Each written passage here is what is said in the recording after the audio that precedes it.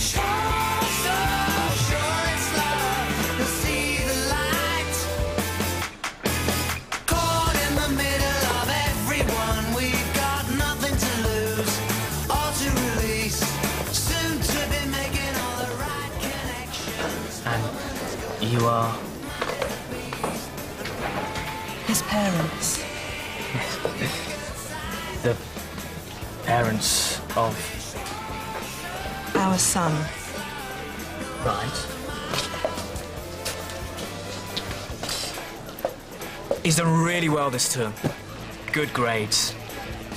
The school secretary typed up these reports for me. She's a hopeless speller. Just to check, how how are you spelling the name? T I N.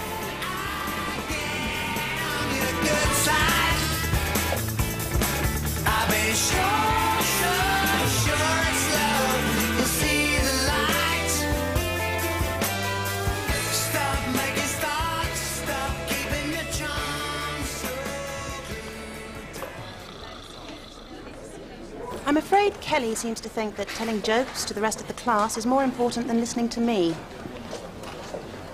Perhaps you'd like to tell us why that is, Kelly. Because your lessons are boring. Come on, don't beat about the bush. All right. You're boring. Tell me what I can do to make the lessons more interesting for you then. Move me into Simon's class. He's a lark.